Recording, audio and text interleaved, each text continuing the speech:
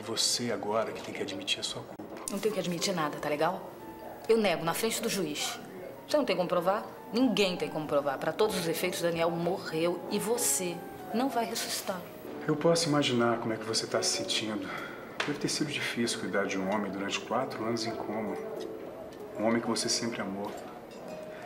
Mas agora a farsa acabou. Eu já sei que o Daniel Avelar está vivo e é seu dever me dizer onde é ele está escondido. Para de me fazer pergunta, eu não sei de nada. Eu não acredito. Você é a protetora dele. Não sabe onde ele está escondido? Dá pra acreditar, Diana. Eu sabia. Mas não sei mais.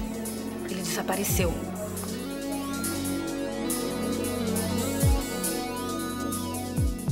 Prova de amor.